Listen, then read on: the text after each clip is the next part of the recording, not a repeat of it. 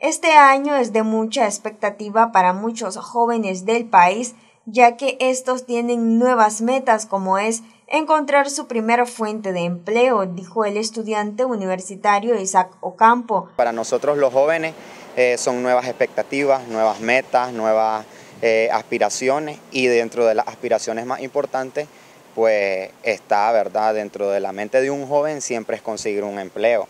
Entonces creo que siempre en la mente de un joven está presente, ¿verdad? Ese, ese deseo de poder superar, porque obviamente pues para cumplir nuevas metas, para cumplir nuevas aspiraciones, creo que una de las cosas más importantes en un hogar, pues por ejemplo, es, es la economía.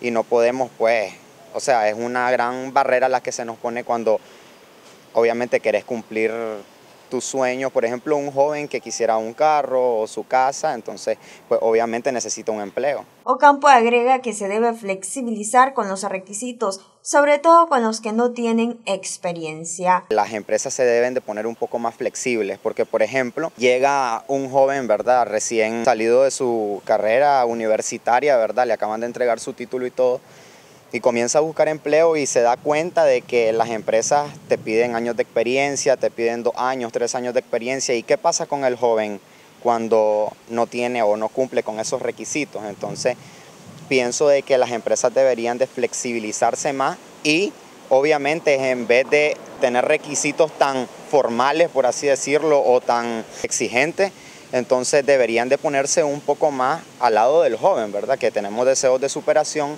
y que obviamente eh, ellos también contribuyan, ¿verdad? Que la empresa en sí contribuya a una formación, no solamente, o sea, adquirir un profesional. Noticias 12 Darlene Telles.